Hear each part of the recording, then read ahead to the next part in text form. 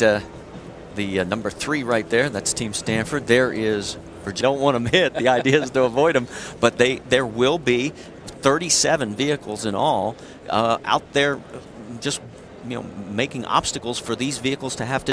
The number 32, VictorTango. It is. Uh, Odin. Odin. is. It's a Ford Escape hybrid.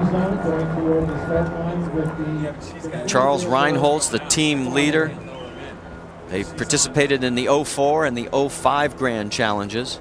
And as you can see, they've got a lot of sponsorship. Now, that's the first turn right there. You can see from up above. Now, the vehicle behind them, we should probably explain what that vehicle is actually doing back there. Yeah, okay. So that vehicle is a safety vehicle, and inside of it, they've got a precision driver, but they've also got someone with a safety kill switch. And if they see that there's a, a situation being created where the robot might be going out of control or or anything else that, that might cause a safety hazard, they can stop it in its tracks immediately before any damage happens. Now, look at the speed here. This is the first traffic circle, and I'm, I'm impressed with how fast that uh, Odin's going. That's right. And, you know, again, no one is in it. Odin is driving itself.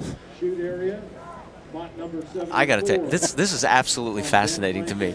That is fantastic. So we've got uh, along the top there an array of, it looks like, SICK LIDARs, uh, SIK, name of the company, 2D LIDAR, are along the top. You know, that gives you an idea just how, how good a turning radius that is. Take a look on second mission already, the 32. Virginia Tech. And they are They're looking, in, they're looking for a parking space. looking for parking. And, out, look at that. Yeah, that's great. And out here, you know, your uh, LiDAR isn't going to give you very much information because everything's flat and the lines are simply painted on the ground. Out where you're at. It's actually pretty mild. There's a gentle breeze. It feels quite good. It's getting a little warmer out here. Well, good. Why don't you come back here and get blown out of the tower with us then? Because it's it's taking our papers and showing them or shoving them all over the place. Yeah, it's blowing the leaves off the trees around here. This well, is it shouldn't affect things other than for the dust that you were talking about. I, I think the robots won't care. All right, well, we'll keep updating on that. Speaking of updates, right now we're going to turn to the top of the hour and turn it over to Amy Gutierrez. Amy? Bot doing a different mission would randomly meet up with another, but now that there are fewer bots, you're seeing fewer traffic jams happening. And again, this is all intentional. So if they come in at different times, it's not necessarily an indication of who is ahead of whom. It's just that they have completed a longer mission.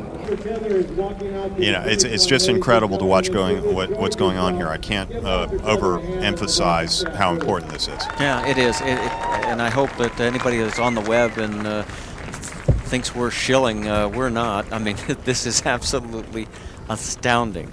And here comes Odin from Virginia Tech getting ready to make the turn. and we will now have three official finishers of the Urban Challenge here in 2007. Congratulations, Virginia Tech, Team VictorTango. Odin is just about to cross the finish line. You hear the applause by everybody behind us. And there, Dr. Tether waves the flag. That's an official finish. To Charles Reinholtz and Al Wicks and uh, his entire crew. Remember, these are graduate students, undergraduate students, former graduate students. Uh, what a tr-